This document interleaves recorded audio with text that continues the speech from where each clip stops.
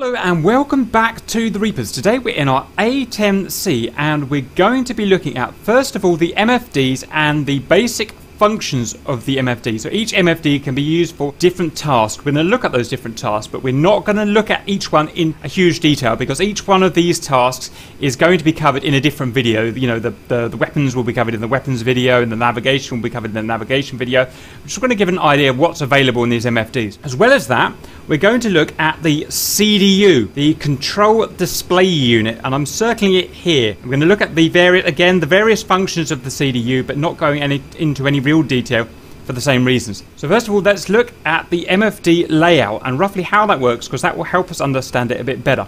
So we've got along the bottom here some options for the different pages. The first bottom four buttons basically allow us to go to different pages and we like to liken this to the Windows taskbar. So this Windows taskbar we've currently got TAD, DSMS, TGP and STAT available. It is possible for us to change out these for different tasks. So that's the first thing we want to look at. So in this case, if we went to press and hold the stat button with our left mouse click, we've got the ability to set different options, different pages, if you like, and we can, for instance, the load, we could add that down, change that out for one of these down here onto our taskbar. So I'm not going to do that at the moment, but that's just to explain that's possible. We'll go back to TAD for now. So we've got these four on the taskbar. So the other buttons that will go around the MFD are controls based on the particular page that you've got selected. So we've currently got the TAD selected. The TAD is Tactical Awareness Display. This is a mixture. In fact, before we do that, I'm going to just get it so that we can see it a little bit better. So I'm going to go soy left control hold until I make it our soy, our center of interest with this box around it. I'm then going to press DMS aft and zoom out a little and you can see it is a map. It's a moving map and allows us to view our navigation. You can see what waypoints 1, 2 and 3 here, but it's more than navigation. It's also our situational awareness page. Allows us to show where targets are. We can put, for instance, mark points where possible targets are, and they will they will be visible on this TAD page. As well as that, we can share targeted information or SPIs with other A10s in our data link. We've got a data link video showing how to do that. So if, if my friend Riddle was up over here placing targets down, he can share that, and then I can see his information, his targeting information. As well as that, I can see other aircraft in my A10C group. Again, using the data link, if Riddle was out here flying around at the moment, we would be able to see him. So it's a full situational awareness page with those kind of capabilities. And you can see we've got all sorts of functionality around here, but we're not going to go through them because we'll be going through them in the separate tutorial videos. Then we've got the DSMS, the Digital Stores Management System, or the, just the stores page as I like to call it. This allows us to select our different weapons. So these are the weapons that we've got on board at the moment. A lot of these weapons are complicated and need parameters configuring. As an example, let's say we want to change the settings of this GBU12. There'll be all kinds of settings we want to change. Well, we could go to inventory, we could click on it, number 7, we could go to GBU, GBU12, and here's all the stuff, the parameters we can set for this. Most of this I probably won't even understand, but different types of fusing. We've got the laser code because it's a GBU. You know, stuff here, um, we're not going to go into any detail, but I'm just trying to point out that here is where we can change all the parameters for that weapon. And uh, I'm going to quit out of here back to the basic DSMS. We can also select our weapons here for usage. Next is going to be our TGP, that's our targeting pod. So we have a Litening targeting pod. Let's go and have a look at that outside. On our right wing there, next to the Sidewinders. And this allows us to do advanced targeting. So if we clicked on it here, we can also have it on the right MFD out of interest. Uh, they cross over. So this is its blank screen because it's currently in standby. But if I were to put it to air to ground mode, note we can also use air to air mode. And you can see it's basically a glorified camera on a gimbal mount that can swivel round to almost any angle and zoom in and out and target for us. Again, we're not going to go into any real detail, but let me just show you that I can slew it around and stuff like that. So I'm going to have to make this screen here, the SOI, it's currently not SOI, SOI is sensor of interest. I'm going to press and hold the left coolie key, and we've got a box around it, and now we can use our slew keys to target designate the slew keys to move it around. And we're just looking at the concrete obviously in front of us, but you get an idea and uh, you can see it on our HUD there in that little diamond there and that's how we can go and do target information. Again, we've got a 20 minute video on this, so we're not going to go into the details now. Next, we're going to go to stat. In fact, I'm going to turn that off for good practice. I'm going to go to stat, which is our status. These are our various systems in the A10C. and you have to test them. Well, you don't have to because uh, from a hot start they are tested automatically, but you can test them. If I were to press the, uh, the test button, I can choose the different systems with these buttons here, and I can press the test button to test them. I'm not going to do it now because it takes several minutes, and it comes up whether whether they're valid or whether they're problematic.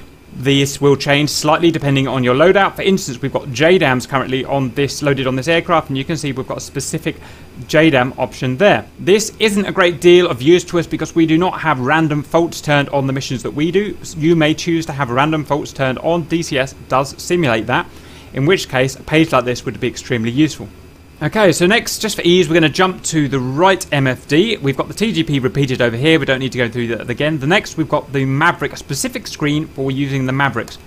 And the reason we're going to have a specific screen for it is that we can look via the actual sensor that is on the front of the selected Maverick. So this can become the screen of the sensor that's on this particular Maverick. So what we're going to do is show that now. Currently master arm is safe, so I'm going to turn the master arm on. Ping and you can see that we're now looking through essentially the IEO camera of that Maverick. And again, we can make this story and we can slew it about, find targets, and deploy our weapons like that. Again, we've got various uh, functionality around here, but we're going to leave that until the Maverick video. So next, we're going to go to the CDU, the Control Display Unit. So what I want to say is that this here is a repeater screen of the main CDU system here. It literally just repeats whatever's being shown on that screen. The reason it's here is because it's much easier to use it up front here. And this and some of the other functions that we've seen on the MFDs are actually controlled via the upfront controller, the UFC here. We've got numbers, letters, various stuff that we can use to actually input. Again, it's up here because it's easy to use with the pilot can still look through the, the front screen.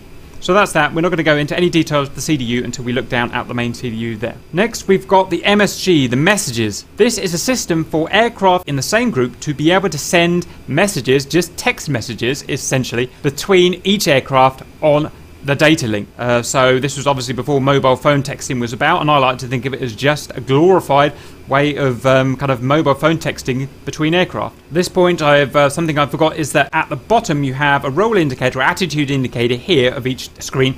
And a barometric altimeter. The reason we've got that there is because you may often be flying heads down in an MFD and you want your basic control to be seen there.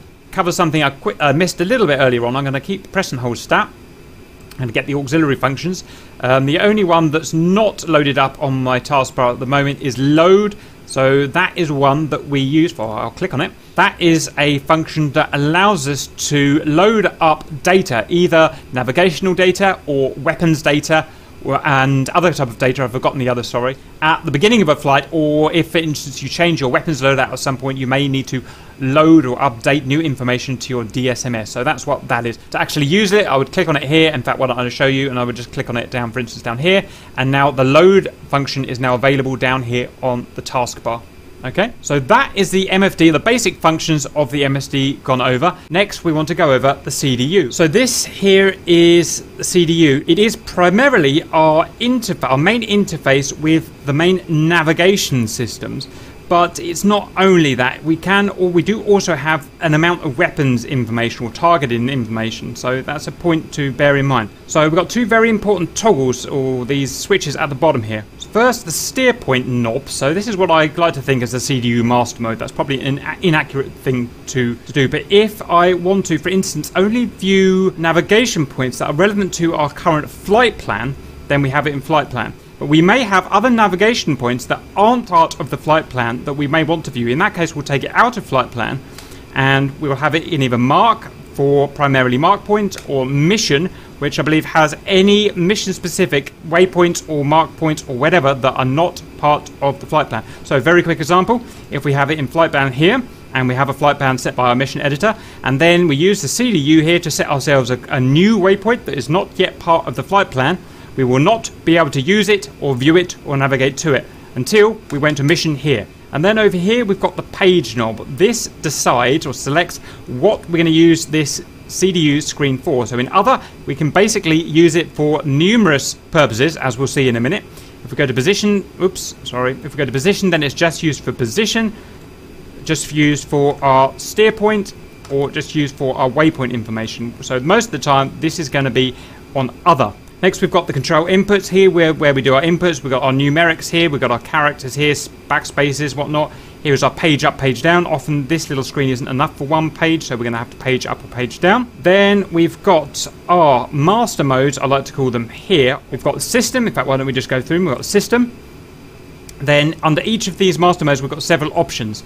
So under system, we've got our EGI, which is our type of navigation. We've got INS, which is inertial navigation system only.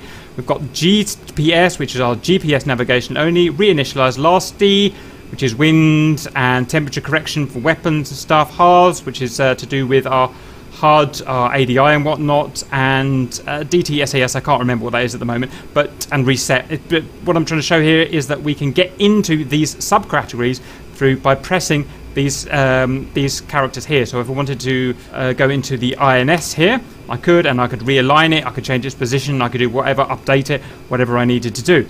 So back to Sys Master Mode, so that's that.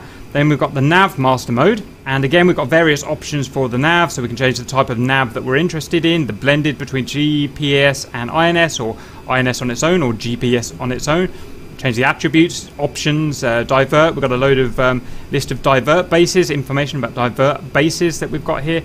We can change the time, various time settings, current time, master time, time settings that are of interest. We can realign from here. We can update and whatnot. Uh, then we, we're not going to go to any detail because we're going to cover these in detail in other tutorials.